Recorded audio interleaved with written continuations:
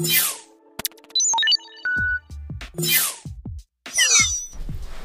what is going on everyone? Leon checking in and we're at it again with another video. In today's video, we'll be talking more about Android optimization by demonstrating how to use, edit, and organize quick settings and how to access phone settings. Now, quick settings are shortcuts to accomplishing basic tasks on your Android device quickly. Now, when we say Android devices, quick settings can be used, edited, and organized on both Android tablets and Android smartphones. Now optimizing quick settings is important because it allows you to enable or disable the settings that you use most.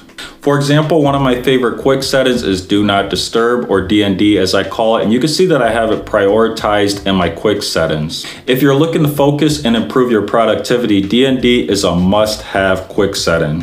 When DND is enabled, it blocks notification from apps, messages, and phone. DND is also customizable, which means that we can configure what notifications are shown and how long DND itself runs.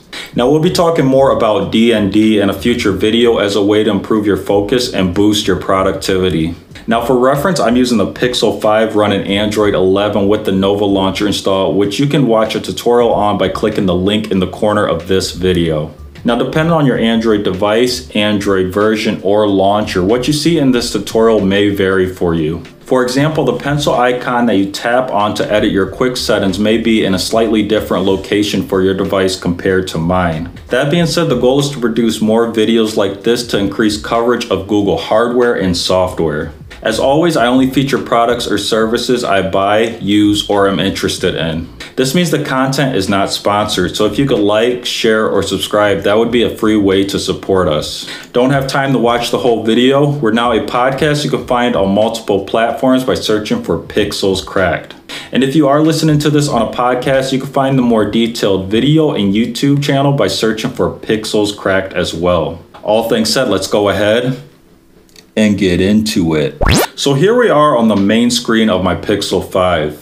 If we swipe down from the top of the screen, this shows our first few quick settings in a dark panel. Ideally, you want to have these first settings filled with the settings that you use most for quick access. If we swipe down one more time, the appearance of this panel changes depending on whether you're in landscape or portrait mode, and you can see we also have a few more settings.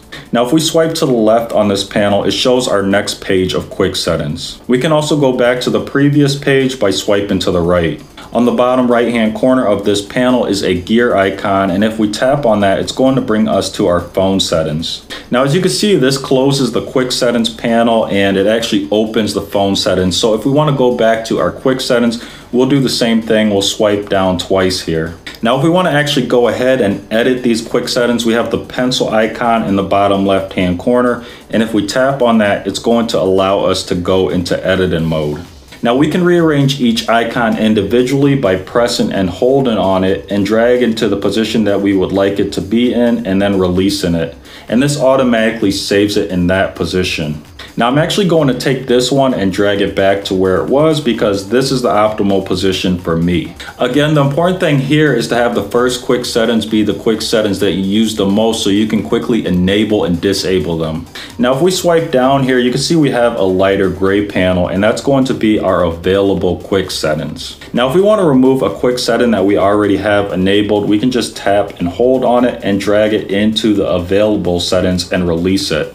And if we want to enable a quick setting that is not enabled, we'll just look for it here and then we'll press and hold on it and then we'll drag it towards the top here. Now you can see things kind of move a little quickly here, so it's going to take a little bit of patience and precision and then we're going to release it and that's going to enable it. Again, this configuration is automatically saved. Now we can exit editing mode by tapping on the back arrow in the top left hand corner. Now, once you have your quick settings actually enabled, you can actually enable or disable them simply by tapping on them. So for example, you can see we have Bluetooth here. It's actually turned off because it's not highlighted blue. But if I wanted to enable it, simply tap on it and that's going to turn it to blue. That means that it's enabled. And you can see this is why things work really quickly here with quick settings. We can just simply tap on something and it's either enabled or disabled. So that is it for today's video. If you enjoyed it and found it useful, please leave a like. If you're watching this on YouTube and have any questions or comments, as always, drop those down below and I'll do my best to answer them. Now, there are three ways you can support the channel and podcast. The first way is to click on the Amazon storefront link found in the description below. There you'll find items that I have bought or would like to buy, and anything you buy from the storefront does support the content. The next way you can support us is just by sharing this with someone who might enjoy it or find it useful. And the last way you can show your support is just by clicking on the subscribe or follow button. Now, liking and subscribing are important. Those are ways to vote on whether you like the video or the podcast. Liking and subscribing are also important for new viewers and listeners. If new viewers and listeners see likes and subscribers, they're going to think that the content is helpful, worth watching, and listening to. So, that is pretty much it. And until next time, Leon checking out.